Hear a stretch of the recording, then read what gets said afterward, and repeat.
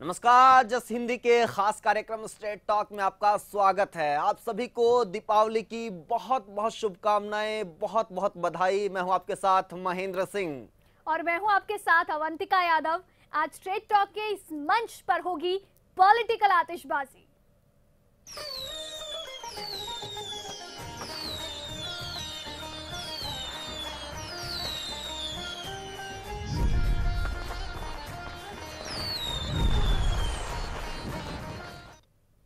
जी हाँ पॉलिटिकल आतिशबाजी मंच सच चुका है स्टॉल सच चुका है। आप देख रहे हैं, हमारी दुकानदारी सच चुकी है। हमारे सामने बहुत सारा आतिशबाजी का सामान है, बहुत सारे पटाखे हैं, फुलझड़ियाँ हैं। और ये सिर्फ़ आम पटाखे, फुलझड़िया, आतिशबाजी का सामान नहीं है। इसमें मसाला भरा हुआ है पॉलिटिक्स का। बिल्कुल, यहाँ पर पॉलिटिकल आतिशबाजी, ये प्रोग्राम खास हम इसी के लिए लेकर आए हैं, क्योंकि आतिशबाजी तो होगी ही इस मंच पर स्ट्रेट टॉक के इस मंच पर, आतिशबाजी भी होगी, लेकिन ये आम आतिशबाजी नहीं होगी, जो ये आप पटाखे देख पा रहे हैं यहाँ पर, ये कोई आम पटाखे नहीं है, इनके अंदर भरी गई है पॉलिटिकल मसाला इनके अंदर भरा गया है। जी, बिल्कुल, देखिए दीपावली का मौका है और चुनाव का मौसम है। पाँच राज्यों में विधानसभा चुनाव होने जा रहे हैं और फिर उसके ठीक बाद माहौल तैयार हो जाएगा 2019 लोकसभा चुनाव को लेकर, जिस पर सभी की नज़र बनी हुई है। विधानसभा चुनाव की बात हो या फिर उसके बाद लोकसभा चुनाव की बात हो, उसमें ये तमाम आतिशबाजी किस तरीके से काम आएगी और कौन ये पटाखे फोड़ेगा, किसकी चुनाव के बाद दिवाली बनेगी, इस आतिशबाजी के ज़रिए, इस पूरे सामान के ज़रिए हम पॉलिटिक्स का पूरा गुणा भाग आपको समझाएँगे। बिल्कुल, पॉलिटिक्स का पूरा गुणा भाग आपको समझाने की कोशिश की जाएगी, क्योंकि आतिशबाजी पॉलिटिकल फ़ील्ड में भी हो रही है। हमारे जो नेता हैं, वो भी बयानबाजी की आतिशबाजी कर रहे हैं। बम पटाखे वहाँ भी छोड़े जा रहे हैं क्योंकि चुनावों का समय है। लेकिन इन चुनावों से पहले दिवाली हो गई है कांग्रेस की कर्नाटक के अंदर। अब असल में जो पाँच राज्यों के चुनाव होने हैं या उसके ठीक बाद जो आम चुनाव होने हैं देश में उसमें किसकी दिवाली होने वाली है? ये हम आपको बताएँगे हम समझने की और समझाने की कोशिश करेंगे इन बम पटाखों के ज़रिए। जी बम पटाखों के ज़रिए सब कुछ समझने और समझाने की कोशिश करेंगे। लेकिन एक और अच्छी बात है इस मंच की। आप लोग भी अपनी राय अपने विचार हमारे साथ साझा कर सकते हैं। आप हमें बता सकते हैं कि आखिर आप लोगों का क्या मानना है कि ये दिवाली किसकी शुभ होने वाली है और किसके लिए दिवाला निकलने वाला है। कौन चुनाव के बाद भी दिवाली मना सकता है और कौन इस दिवाली के ऊपर भी मायूस है? टेलीविज़न स्क्रीन के ऊपर जो नंबर आपको दिखाई दे रहा है, वो डायल करके आप भी कार्यक्रम का हिस्सा बन सकते हैं, अपनी राय, अपने विचार हमारे साथ साझा कर सकते हैं। सवाल ये है कि आखिर आप क्या मानते हैं कि चुनाव में आखिर कौन धमाका करने वाला है और कौन फुस हो जाएगा? कौन से मुद्दे से दहलेंगे विरोधी? ये भी बड़ा सवाल है। आप इस पर भी अपना जवाब हमारे साथ साझा कर सकते हैं। जी हाँ वो कौन से वादे होंगे जो जनता को बहलाएँगे? वो वादों के रंग कौन से होंगे? कौन सी आतिशबाजी होगी जो जनता को अट्रैक्ट करेगी? आखिर किसकी मनेगी दिवाली और किसका निकलेगा दिवाला? ये भी बड़ा सवाल है। आप हमें बता सकते हैं आपको क्या लगता है किसकी दिवाली आखिर मनने वाली है? अभी तो दिवाली है, लेकिन पाँच राज्यों के जो चुनाव होने हैं या फिर उसके बाद जो देश के आम चुनाव होने हैं, उसके बाद किसकी दिवाली मनती हुई नज़र आएगी और किसका दिवाला निकलता हुआ नज़र आएगा? जी, और ये तमाम दर्शक तो हमारे साथ साझा करेंगे ही अपने विचार। लेकिन अवंतिका इन पटाखों के ज़रिए हम्म। आप अगर समझाना चाहें आपकी दुकान में आपके स्टॉल पर किस किस तरीके के पटाखे हैं और उसके बाद हम एक एक करके विश्लेषण करेंगे कि ये पटाखे किस चीज़ का रूप है। इन पटाखों के अंदर कौन सी पॉलिटिक्स का बारूद भरा हुआ है? क्या क्या खास है अवंतिका आपके स्टॉल पर? देखिए अगर मैं अपने स्टॉल पर बताऊँ तो मेरे स्टॉल पर क्या क्या पटाखे हैं? हालाँकि सिमिलर पटाखे हमारे स्टॉल पर आपको ज़रूर नज़र आएँगे लेकिन इनके अंदर जो पॉलिटिक्स का बारूद भरा गया है वो अलग है एकदम। मेरे स्टॉल पर सबसे पहले यहाँ पर रॉकेट है महेंद्र। जी। इसके अलावा यहाँ पर अनार रखा है। अनार जो हम्म। सबकी पसंद होता है क्योंकि अट्रैक्शन ही अपनी तरफ़ सबकी ले लेता है। तो अनार है इसके साथ ही चरखी भी यहाँ पर है मेरे स्टॉल पर और बुलेट बम है यहाँ पर जिनकी सबसे तेज आवाज़ सुनाई देती है। चरखी भी यहाँ पर शामिल की गई है और साथ ही यहाँ पर लड़ी वाले बम है और सबसे इंपॉर्टेंट फूक बम है। ये इंपॉर्टेंट क्यों है? छोटे से इंपॉर्टेंट है आपको पता चलेगा। जी और यही तमाम सामान मेरी तरफ़ भी आपको फुलझड़ियाँ इस तरफ़ भी दिखाई दे रही होंगी रॉकेट इस तरफ़ भी दिखाई दे रहे होंगे और बुलेट बम इसे नाम दिया गया है वो भी इस तरफ़ है अनार भी है और ये चक्री भी इस तरफ़ है तमाम बोम और आतिशबाजी है और ये लड़ी वाले बोम भी इस तरफ़ हैं। दरअसल मसाला अलग अलग है जैसा कि अवंतिका ने बताया। अवंतिका एक एक करके आप समझाइएगा और बताइएगा कि कौन सा वो पहला पटाखा है कौन सी वो पहली आतिशबाजी है जो महत्वपूर्ण रहने वाली है इन पाँच राज्यों के विधानसभा चुनाव में हुई और फिर उसके बाद 2019 में उसका इस्तेमाल होगा। देखिए अगर पाँच राज्यों के जो विधानसभा चुनाव है उसके बाद आम चुनाव है कौन सा पटाखा है जो महत्वपूर्ण रहने वाला है? अगर अभी पर हम नज़र डालें महेंद्र तो कर्नाटक में उपचुनाव हुए हैं। कर्नाटक के उपचुनावों के नतीजे आ गए हैं जिसके बाद कांग्रेस की दिवाली मनी है। तो जोश कांग्रेस में भरा है और कांग्रेस यानी राहुल गांधी में जोश भरा है तो सबसे पहले जो मेरा पटाखा है वो राहुल गांधी के लिए ही है क्योंकि राहुल गांधी की आवाज़ हर तरफ़ सुनाई दे रही है। राहुल गांधी जहाँ भी जा रही हैं उनकी आवाज़ जिस तरह से वो भाषण दे रहे हैं रैलियों में जा रहे हैं और उनकी जो एक एक संबोधन है वो लोगों को काफ़ी पसंद आ रही है। केंद्र की मोदी सरकार जो है हम्म, केंद्र। सरकार जो है उसको घेरने का काम राहुल गांधी कर रहे हैं। कई मुद्दे हैं जो राहुल गांधी की ओर से उठाए जा रहे हैं चाहे वो राफेल का मुद्दा हो चाहे वो भ्रष्टाचार का मुद्दा हो एक एक कर कई मुद्दों पर राहुल गांधी केंद्र सरकार को घेरते हुए नज़र आ रहे हैं। इसीलिए अभी क्योंकि कर्नाटक में भी राहुल गांधी का नाम चमका है तो हम्म। उम्मीद यही है और जो आसार नज़र आ रहे हैं हालाँकि अभी बहुत जल्दी होगी कहना कि किसके फेवर में जाएगा चुनाव लेकिन राहुल गांधी का पटाखा जो है जो राहुल गांधी पटाखा है वो ज़रूर चमकने वाला है। जी बिल्कुल देखिए राहुल गांधी का जो पटाखा है वो चमकने वाला है ये दावा है। लेकिन मैं शुरुआत करूँगा अपनी फुलझड़ी से। ये फुलझड़ियाँ हैं मेरे पास और ये फुलझड़ियाँ हैं। बयानबाजी की ये फुलझड़ियाँ हैं नारेबाजी की आप देखिएगा कि चुनाव का जब मौसम आता है तो बहुत सारे मुद्दे पीछे चले जाते हैं हम्म। और ये जो बयानबाजी की फुलझड़ियाँ हैं ये बहुत ज़्यादा जलाई जाती है। नारेबाजी की जो फुलझड़ियाँ हैं ये बहुत ज़्यादा जलाई जाती हैं और इन्हीं के ज़रिए एक रोशनी ऐसी फैलाई जाती है एक चकाचौंध ऐसी होती है जिसमें तमाम मुद्दे कहीं अंधकार में समा जाते हैं और जो तमाम तरीके की और आतिशबाजियाँ होती हैं वो पीछे हो जाती हैं। आप देखेंगे कि जब भी माहौल होता है आप गली मोहल्ले का माहौल देखिए हम्म। किसी भी तरीके की आतिशबाजी का माहौल देखिए जो फ्रेम सेट होता है उसमें जो ये बयानबाजी वाली फुलझड़ियाँ जिनके हाथ में हम्म। होती है ना ये सबसे आगे होते हैं। देखिए बयानबाजी सबसे महत्वपूर्ण रोल जो है अदा करती है। जब चुनाव आसपास होते हैं तो बयानबाजी उस वक्त सबसे ज़्यादा जो है खेल कर जाती है। जी और बयानबाजियों के आधार पर ही हमारे देश में नेता भाषण देते हैं हमारे देश में नेता बयानबाजी ही करते हैं और उसी के आधार पर उनकी राजनीति को तोला जाता है। उसी के आधार पर जनता ये तय करती है कि हमारे कौन से नेता सही है कौन से गलत है कौन से अच्छे हैं और कौन से बुरे हैं?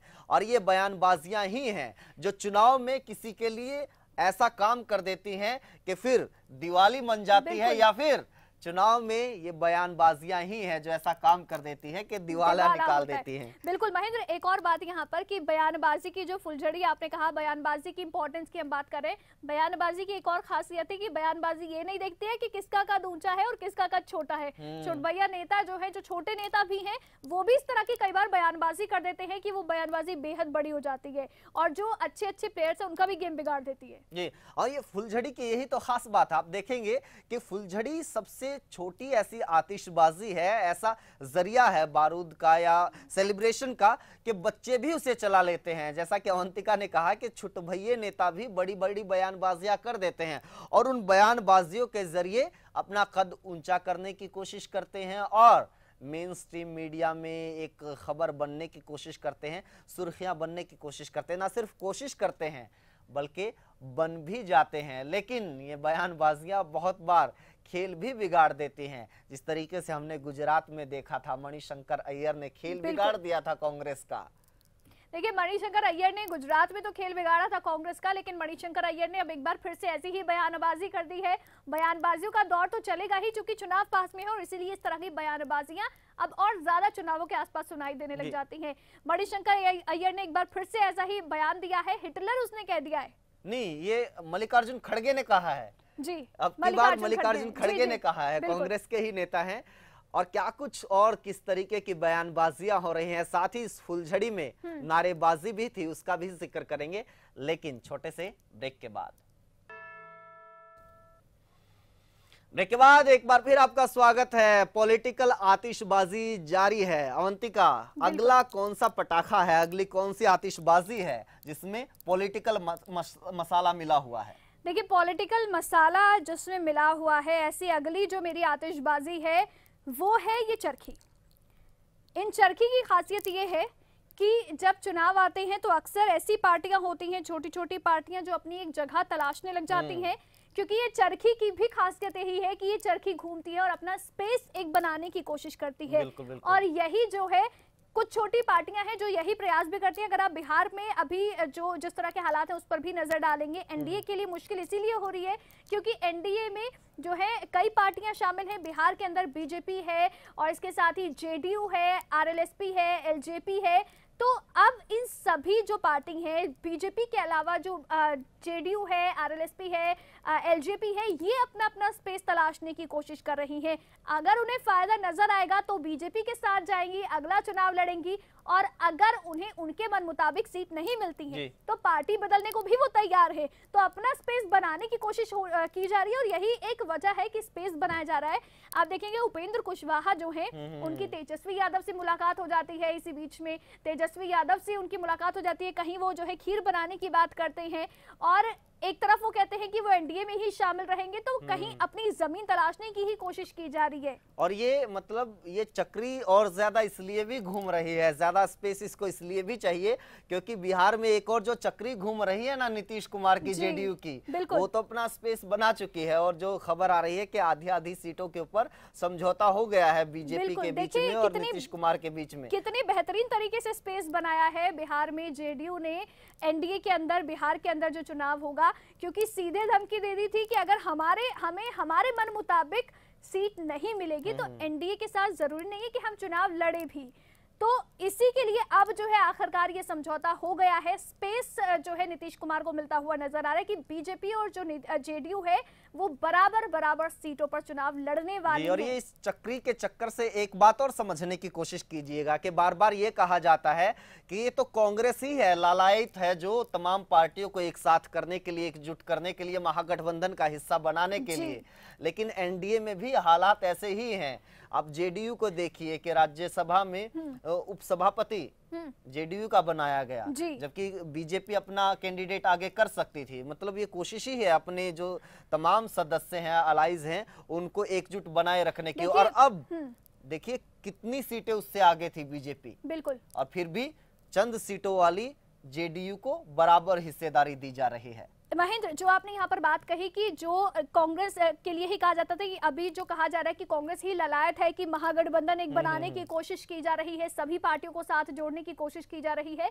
लेकिन उसकी एक वजह ये भी कह सकते हैं कि बीजेपी 2019 के बाद बीजेपी में या हम कहीं मोदी जो मोदी कैंडिडेट है पूरा इनके साथ के जो लोग हैं इतना उत्साह जो बढ़ा है इनका दो 2014 चौदह के के बाद आप देखिए जो है गिने चुने राज्यों में बीजेपी की सरकार होती थी लेकिन अब एक एक कर उसके बाद जो है लगभग पूरे देश को ही भगवा रंग में बदल दिया गया है। भगवा झंडा पूरे देश में हर राज्य में लहराता हुआ लगभग नज़र आ रहा है। कुछ एक गिने चुने राज्य रह गए हैं। पंजाब इकलौता बड़ा राज्य रह गया कांग्रेस के इकलौता बड़ा राज्य है। कर्नाटक में गठबंधन के साथ गठबंधन बैक सीट पर बैठना बड़ा ज़्यादा छोटा सा स्टेट है जहाँ पर कांग्रेस आपको थोड़ी बहुत नज़र आ जाएगी। और इसीलिए कहीं ना कहीं बीजेपी थी ललायत जो है बीजेपी के लिए नहीं कहा जा रहा था, क्योंकि बीजेपी अपने आप में पूरी तरह से उत्साहित है। उसके अंदर जो है 2019 के लिए पूरी तरह से जो है केंद्रित नज़र आ रही है कि हम जो है अकेले दम पर चुनाव जीत सकते हैं। जी, और ये रणनीति ही है। ये नीतीश कुमार को साधने की रणनीति ही है। बीजेपी ने जिस तरीके से नीतीश कुमार अलग चले गए थे जब नरेंद्र मोदी को पीएम कैंडिडेट घोषित किया गया बीजेपी की तरफ़ से तो नीतीश कुमार ने किनारा कर लिया था।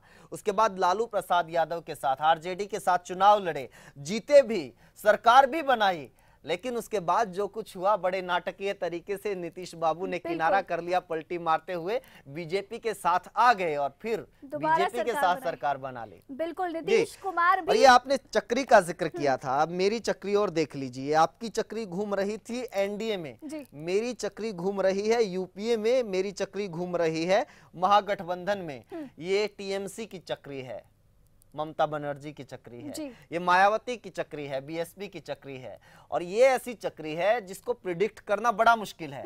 ये कितने चक्कर लगाएगी कितनी इसमें से रोशनी छूटेगी कितनी इसमें से लपटे निकलेंगी और कहाँ पर जाकर किस सिरे पर जाकर रुकेंगी ये अभी कम से कम कह पाना बहुत मुश्किल हो रहा है। आपकी चक्री में से एक चक्कर तो कम हो गया है महेंद्र जी। जो बसपा है मायावती की पार्टी है मायावती ऐलान कर चुकी है कांग्रेस के साथ तो वो चुनाव नहीं लड़ने वाली है। तो एक चक्कर कम हो गया इस महागठबंधन के चक्कर एक चक्कर ठीक कह रहे हैं आप ये राज्यों के जो विधानसभा चुनाव है कम से कम ये चक्कर तो पूरा कर लिया है उसने कांग्रेस के बिना ही यहाँ तो ये साफ़ हो गया है लेकिन सवाल 2019 को लेकर है क्योंकि इन तमाम दलों को साथ आना ही पड़ेगा। आपने देखा होगा कि चक्री जिस तरीके से ज़ीरो आकार में घूमती है ना मायावती को ज़ीरो ही मिला था। मोदी जी का जो असर देखने को मिला था ये मायावती को बसपा को ज़ीरो ही मिला था। इसलिए मजबूरी है कि आना ही पड़ेगा साथ में। कांग्रेस के साथ में तो आना ही पड़ेगा लेकिन उससे पहले बसपा के साथ तो आप तस्वीरें देखिए कि बसपा के साथ तो ऐलान हो ही गया है। और एक बार फिर बयान आ गया है अखिलेश यादव का कि सपा के साथ बसपा का गठबंधन तो तय है। अब उसमें एडजस्टमेंट कांग्रेस की किस तरह से होगी महागठबंधन का स्वरूप किस तरीके का होगा उसमें सीटों का बंटवारा किस तरीके से होगा और सबसे बड़ा सवाल ये कि इस महागठबंधन की अगवानी कौन करेंगे?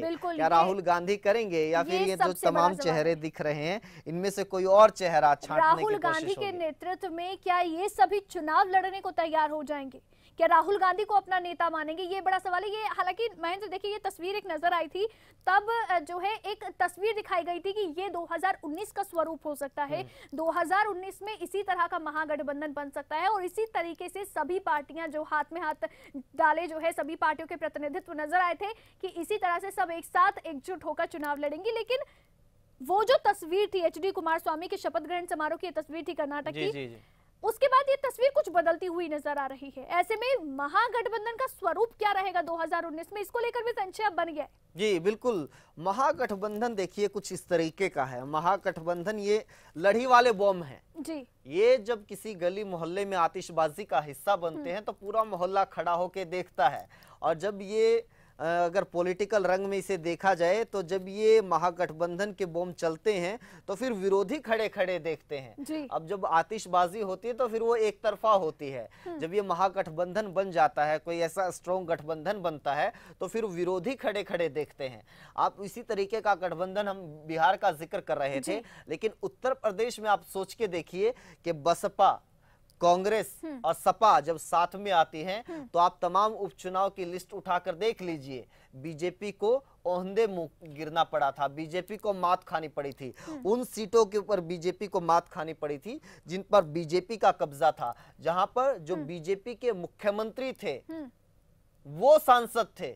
योगी आदित्यनाथ उनके मुख्यमंत्री बनने के बाद वो सीट खाली हुई न सिर्फ़ गोरखपुर मुख्यमंत्री बल्कि उप मुख्यमंत्री की सीट भी फूलपुर भी। वो भी। चली गई। वो भी चली गई। क्यों चली गई? क्योंकि ये जो तमाम लोग तमाम धुरंधर एक साथ आए बीजेपी को हराने के लिए तो वो वहाँ से लेकिन यहाँ पर एक चीज़ और आपने नोटिस की महेंद्र कि जब तमाम धुरंधर सामने है आपने कहा कि सपा बसपा और कांग्रेस ये साथ में आई तो बीजेपी के लिए मुश्किल खड़ी कर दी। बीजेपी को इन्होंने घेर लिया। बीजेपी की वोट जो है वो रोक दी इन्होंने। लेकिन इसमें जब उत्तर प्रदेश के चुनाव हुए थे तो सपा और कांग्रेस तो तब भी साथ थी। उत्तर प्रदेश के जो दो जवान लड़के जो है वो साथ आए थे जगह जगह रैलियाँ निकाली थी नारे दिए गए थे खूब यूपी को ये साथ पसंद है लेकिन वो साथ पसंद नहीं आया। यहाँ पर जब बीएसपी जो है वो साथ में शामिल हो गई है तब ये तीन की तिगड़म जो है इसने कमाल किया है। लेकिन जब बीएसपी की बात हो रही है यहाँ पर कि बीएसपी के आने से ही अगर हम फूलपुर देखें गोरखपुर देखें जो सपा और कांग्रेस मिलकर उत्तर प्रदेश के विधानसभा चुनावों में नहीं कर पाई थी वो बीएसपी के साथ आने के बाद उपचुनावों में खेल नज़र आ रहा है। बिल्कुल देखिए इसी की मैं बात कर रही हूँ। बीएसपी मेरे पास ये मेरे पास बीएसपी की फुलझड़ी है। आपके पास बयानबाजी की फुलझड़ी हाँ। है तो मेरे पास बीएसपी की फुलझड़ी है। और ये फुलझड़ी इसलिए इंपॉर्टेंट है क्योंकि जब फुलझड़ी चलती है तो हर तरफ़ जो है एक तो रोशनी होती ही है लेकिन साथ ही ये भी है कि हालाँकि माहौल बना देती है। माहौल बनाती है माहौल देती है। नुकसान नहीं करता है ये पटाखा हाँ। नुकसान नहीं करता है लेकिन फिर भी सबकी पसंद है हम्म। छोटे बच्चों से लेकर चाहे बड़े बुज़ुर्ग हो अगर वो कोई और पटाखा जलाए ना जलाए लेकिन फुलझड़ी ज़रूर सबको पसंद आती है मतलब आप हर जगह देखेंगे कि अगर कहीं पर भी किसी को गठबंधन करना है किसी भी राज्य में गठबंधन करना है तो सबसे पहली पसंद बीएसपी ही होती है। बिल्कुल। चाहे हरियाणा अवंतिका की के बात कर लें। हाँ हरियाणा की बात कर लीजिए और तमाम राज्यों की बात कर लीजिए जहाँ पर चुनाव होने कांग्रेस ने कोशिश तो की है हम्म। बीएसपी के साथ गठबंधन करने की। अब इनके पास बीएसपी की फुलझड़ी है मेरे पास बीएसपी की चक्री है। लेकिन अभी और भी बहुत सारा सामान है जिसके अंदर पॉलिटिकल बारूद पॉलिटिकल मसाला भरा हुआ है। छोटा सा ब्रेक जल लौटते हैं।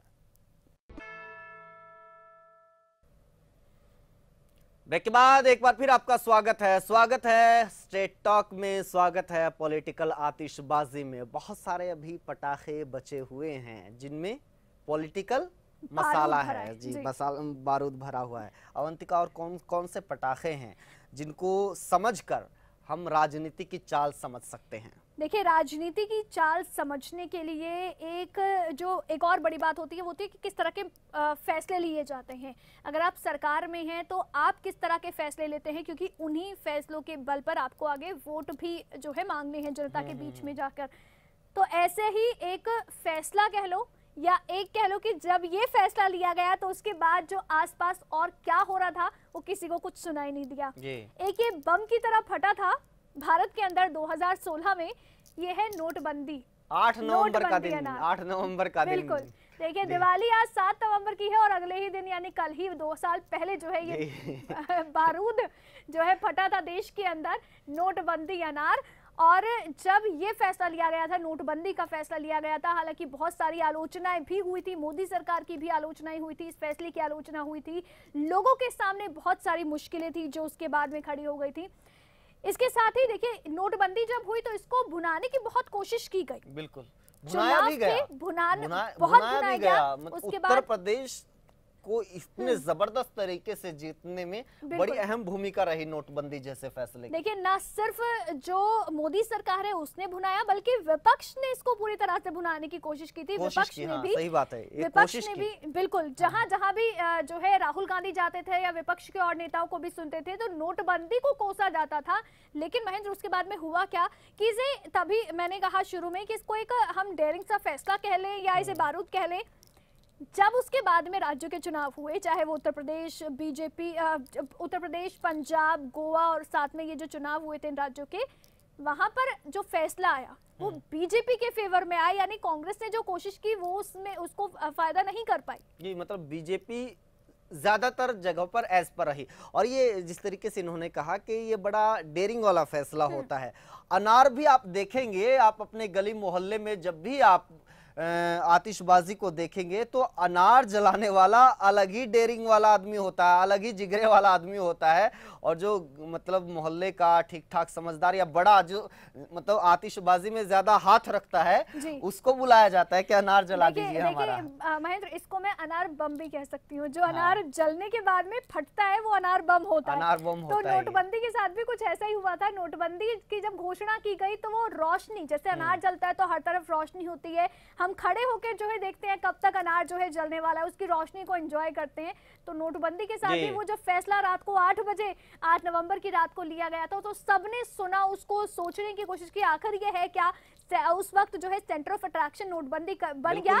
लेकिन तो- उसके दो दिन बाद जो है वो फटा नोटबंदी। जो मुश्किलें शुरू हुई वो नोटबंदी और एक तरीके से तो अब जाके फटा है। बिल्कुल। फटा तो अब जाके है पहले तो रोशनी निकल रही थी बहुत सारी उम्मीदें निकल रही थी बहुत सारे दावे निकल रहे थे।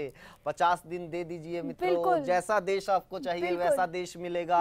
तमाम भ्रष्टाचार खत्म हो जाएगा जाएगा काला धन आ जाएगा आतंकवाद खत्म हो जाएगा नक्सलवाद खत्म हो जाएगा। ये तमाम दावे इस नोटबंदी के दौरान किए गए थे और बाद में आकर पता चला कि सारा धन तो वापस आ गया। ये नोटबंदी बम था हाँ, बम था ये और ये इससे कोई फ़ायदा हुआ भी है या नहीं हुआ है? और नोटबंदी का आज की तारीख में ज़िक्र नहीं किया जाता बीजेपी की तरफ़ से प्रधानमंत्री की तरफ़ से। का भी ज़िक्र नहीं होता है। आरबीआई ने कह दिया है कि मैक्सिमम पैसा जो है वो वापस आ चुका है। काला धन निकलने की बात थी जो कहीं से सामने नहीं हम्म। आया। आतंकवाद अभी भी जारी है।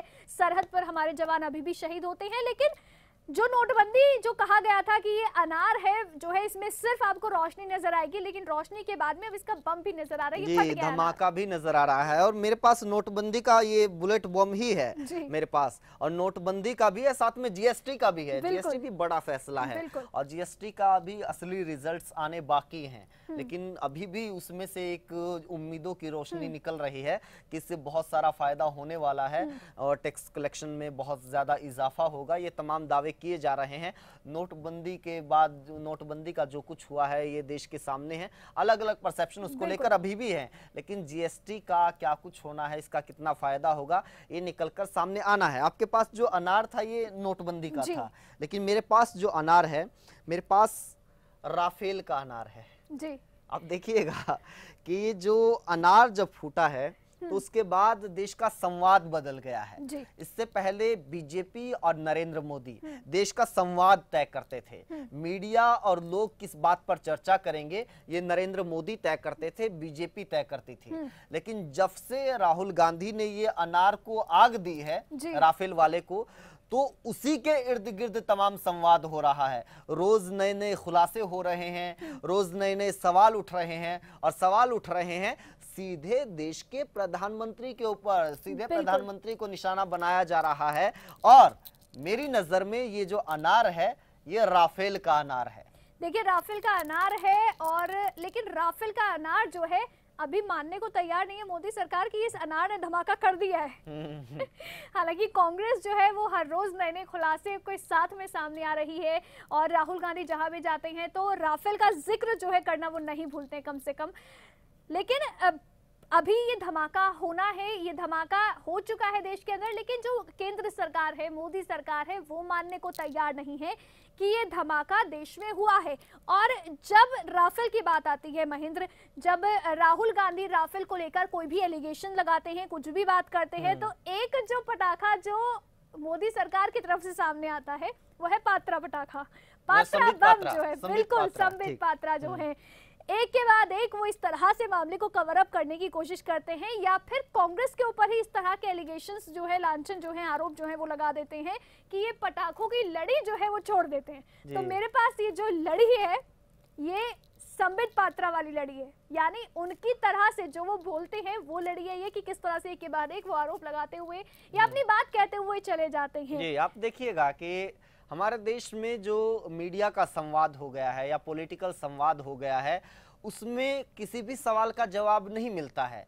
जब कोई सवाल आप छोड़ दीजिए मीडिया के ज़रिए या किसी को भी पूछिएगा तो उसका उल्टा जवाब सवाल के रूप में दिया जाता है। आप बीजेपी के ऊपर कोई आरोप लगाइएगा तो बीजेपी की तरफ़ से उसका जवाब नहीं आता है।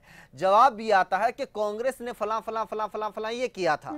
मतलब इस तरीके से मानकर चला जाता है कि ये जो तमाम सवाल हैं ये सिर्फ़ कांग्रेस के ही हैं। ये देश के सवाल हैं। उसका जवाब नहीं आता देखिए एक चीज़ और है महेंद्र एक चीज़ एक जो बात कही जाती है कि अगर आपको अपना जुर्म छुपाना है तो दूसरे का जो जुर्म है उसको इस तरह से दिखा दो कि वो आपके जुर्म से बड़ा है तो आपका जुर्म छुप जाएगा। जी ये कुछ यही कोशिश की ये कोशिश होती है लेकिन एक सच ये है कि दूसरों के गुनाह गिनवाने से अपने कम नहीं होते।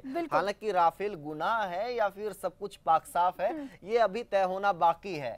ये अभी तो अनार को आग दी गई है इसमें असली धमाका तो अगर इसकी जाँच होगी उसके बाद उसमें कितना धमाका होता है उसके अंदर कितना बारूद है उससे कितनी आवाज़ निकलती है उससे कितना दहल जाता है माहौल ये देखने वाली बात है। लेकिन यानी आपके अनार में सिर्फ़ रोशनी है या फ़िलहाल धमाका भी है? फ़िलहाल लेकिन ये देखना लेकिन लग रहा है कि जिस तरीके से अभी इतनी सारी रोशनी निकल रही है और अभी तक मतलब इंतज़ार हो रहा है क्योंकि जब जितनी ज़्यादा रोशनी निकलती है तो उसके बाद यूँ कानों पे उंगली रख के यूँ इंतज़ार किया जाता है कि कब से इसमें धमाका होगा। तो अभी इंतज़ार किया जा रहा है कि राफेल के खुलासे के बाद कोई धमाका भी अच्छा होगा। बॉफोर से बड़ा धमाका होगा फिर ये राफेल का हाँ, होगा तो। बोफोर्स यानी का ज़्यादा जो है कान दबाने की कोशिश की जाएगी किया। बोफोर्स बोफोर्स देश के लोगों को याद होगा कि प्रधानमंत्री थे राजीव गांधी। मिस्टर क्लीन उन्हें कहा जाता था। मतलब पाक साफ़ छवि और राजनीति से इतर किस्म के आदमी थे, लेकिन मजबूरी में राजनीति में उन्हें आना पड़ा। लेकिन राजनीति में आए ठीक ठाक सब कुछ चल रहा था, फिर एक सुरक्षा सौदा हुआ। बोफोर्स का सौदा हुआ। दलाली के आरोप लगे। शायद पैंसठ करोड़ के आसपास की दलाली के आरोप लगे कि इंडिया में दलाली बांटी गई है लोगों को पैसे दिए गए हैं सौदे को करवाने के लिए। और उंगलियाँ उठी सरकार के ऊपर उंगलियाँ उठी दे, सीधे देश के प्रधानमंत्री राजीव गांधी के ऊपर। और उसके बाद पार्टी के ही एक नेता वीपी सिंह वो आंदोलन खड़ा करते हैं। पार्टी से अलग हो जाते हैं। हालात ये हो जाते हैं कि अगली बार जब सरकार चुनने की बारी आती है तो कांग्रेस का सफाया हो जाता है, राजीव गांधी की सरकार का सफाया हो जाता है, और एक नई किस्म की जो राजनीति की शुरुआत हुई, जो नए नेता उभर कर सामने आए वो सत्ता पर स्थापित होते हैं वीपी सिंह प्रधानमंत्री बन जाते हैं। इसलिए राफेल में वो पोटेंशियल है। इस अनार से जो रोशनी निकल रही है इसमें वो पोटेंशियल है कि कोई ऐसा धमाका हो सकता है जो। सरकार के लिए घातक हो सकता एक है। और एक और यहाँ पर महेंद्र क्योंकि अभी बोफोर्स का धमाका हो चुका था। तब सरकार का सफाया हुआ। अभी राफेल के धमाके का हाँ इंतज़ार ये है इंतज़ार है ये होगा कि नहीं ये होगा कि नहीं होगा ये अपने आप में सवाल है। छोटा सा ब्रेक जल लौटते हैं।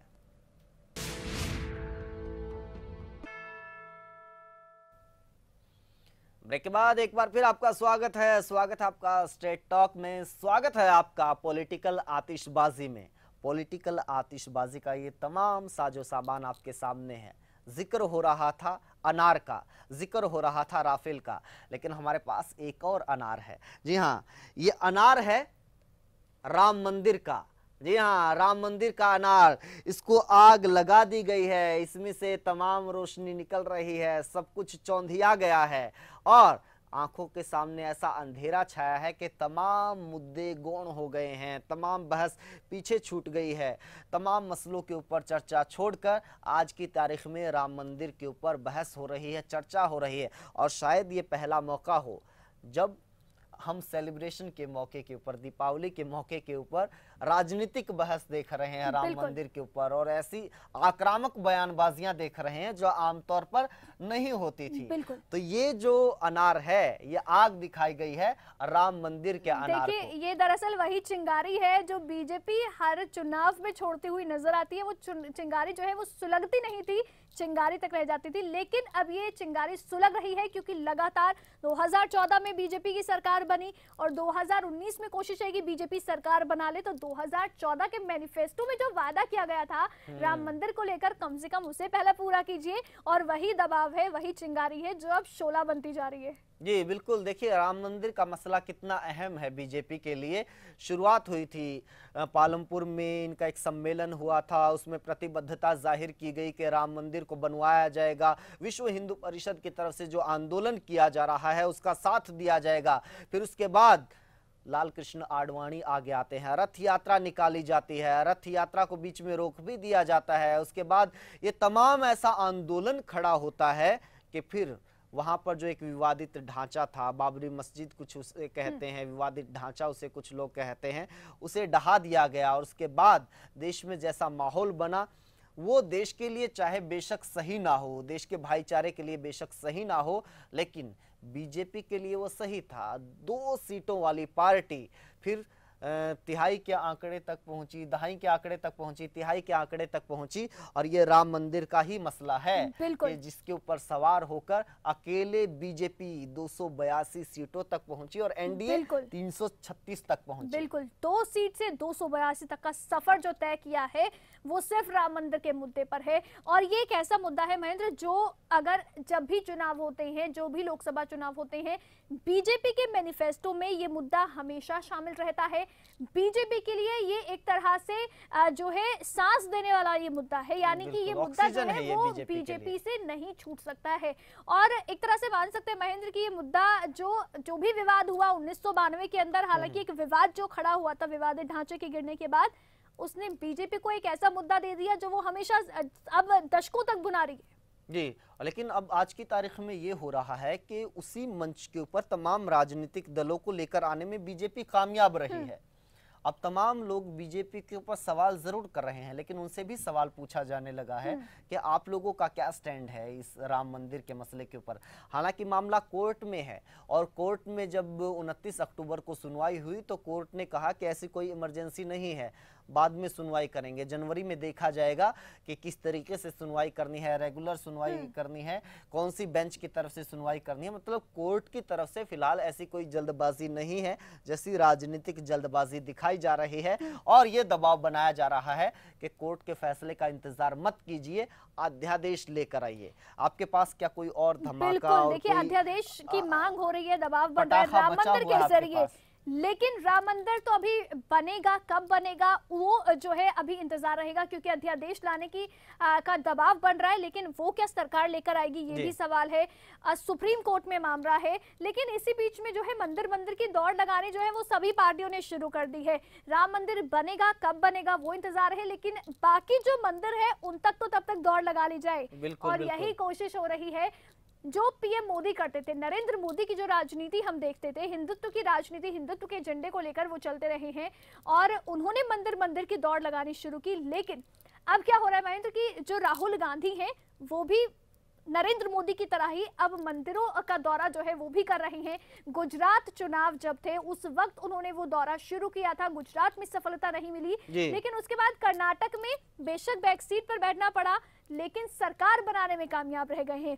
और ऐसे ही अब जो है एक एक करके अब जो बाकी जो राज्यों के चुनाव है वहाँ भी जब राहुल गांधी जाते हैं तो हम्म, हम्म। मंदिर जाना तो बिल्कुल नहीं भूलते हैं बिल्कुल, बिल्कुल। तो इसीलिए ये हिंदुत्व रॉकेट है हिंदुत्व के एजेंडे पर क्योंकि राहुल गांधी भी चल पड़े हैं कांग्रेस भी चल पड़ी है और पीएम मोदी और बीजेपी जो है वो पहले से ही चलते हुए नज़र आ रहे हैं यहाँ तक की राहुल गांधी जब जाते हैं तो जब मानसरोवर यात्रा पर गए तो उसके बाद तो ये तक स्थिति बन गई थी देश के अंदर की जहाँ भी राहुल गांधी की रैली होनी है सभा होनी है तो वहाँ पर पोस्टर जो लगता था बैनर जो लगता था उसमें हम्म। शिव भक्त राहुल गांधी जो है लिखना शुरू कर दिया था। और एक जो बैनर है एक पोस्टर तो ऐसा भी जारी हुआ था महेंद्र आपको याद होगा जिसमें जो है सभी जातियाँ लिखी गई थी कौन किस जाति से आता है वो पोस्टर लिखा गया था। राहुल गांधी को ब्राह्मण तक लिख दिया गया बिल्कुल ब्राह्मण जने उधारी जने उधारी ब्राह्मण तक लिख दिया गया तो हिंदुत्व का एजेंडा मतलब सबसे इम्पोर्टेंट लग रहा है इस वक्त देश में। रॉकेट हिंदुत्व मेरा रॉकेट हिंदुत्व रॉकेट मेरा मेरे पास एक तरीके से मान लीजिए कि दो रॉकेट हैं। जी। और दो रॉकेट क्या हैं कि एक तो राहुल गांधी जिसे आपने बम कहा था ये मेरा रॉकेट है। और एक मेरा रॉकेट है प्रधानमंत्री नरेंद्र मोदी। जी। आप रॉकेट की चाल को समझिए। हम्म। मतलब ये सीधे आसमान को छूने वाला पटाखा होता है हम्म। आतिशबाजी होती है। लेकिन इसकी चाल को समझिएगा कि अगर इसको सही दिशा दे दी जाए हम्म। तो फिर ये सीधा आसमान की तरफ़ जाता है। हम्म। लेकिन अगर ये दिशा भटक जाता है तो फिर ये कहाँ पर जाकर आग लगाता है कि इधर जाकर नुकसान करता है? बॉटल में रखा जाएगा उस बॉटल के अंदर कितना सीधा इस रॉकेट को रखा जाएगा इस पर डिपेंड करेगा। ये बहुत डिपेंड करेगा। और आज की तारीख में और अब तक ये देखा गया है कि नरेंद्र मोदी ऐसा रॉकेट है जो एक दिशा में जाता हम्म। है वो सीधा जाता है और आसमान की ऊंचाई तक पहुँचता है जो मतलब एक लक्ष्य निर्धारित किया हम्म। जाता है कि भी इतनी ऊंचाई के बाद जाने के बाद इसको फटना है तो वो नरेंद्र मोदी नज़र आते हैं इस तरीके का रॉकेट हम्म। लेकिन राहुल गांधी ऐसा रॉकेट है जो कभी तो सीधे चले जाते हैं हम्म। लेकिन ज़्यादातर वो अपनी दिशा भटक जाते हैं जहाँ तहां जहाँ तहां। कई बार तो अपनी ही पार्टी के घर में आकर नुकसान कर जाते हैं। बिल्कुल। मतलब एक अच्छा खासा भाषण देते देते उनके मुँह से कुछ ना कुछ ऐसा निकल जाता है कि वो सारा का सारा स्पीच सारी की सारी तैयारी धराशाही हो जाती है। कंफ्यूज हो जाते हैं कंफ्यूज होने का ज़िक्र किया। कंफ्यूज किस तरीके से हो जाते हैं कि पनामा पे पेपर के मामले में नाम ले दिया कि शिवराज सिंह के बेटे का नाम है जबकि नाम लिया जाना था छत्तीसगढ़ के मुख्यमंत्री। मुख्यमंत्री रमन सिंह के बेटे का। तो ये तमाम आतिश कोई आपके पास और पटाखा बचता है? देखिए एक जो सबसे इम्पोर्टेंट पटाखा है महेंद्र इन सब पटाखों का तो ज़िक्र हो गया लेकिन एक ये पटाखा है। जी। ये यहाँ पर बड़े बड़े पटाखे हैं ये पटाखे जो हैं ये एक पैकेट के अंदर कुछ छोटे छोटे पटाखे हैं। बिल्कुल बिल्कुल। ये नज़र छोटे आ रहे हैं लेकिन ये पटाखे बड़े हैं। जी। ये पटाखे हैं देश के विकास के। हम्म। ये पटाखे हैं देश की खुशहाली के।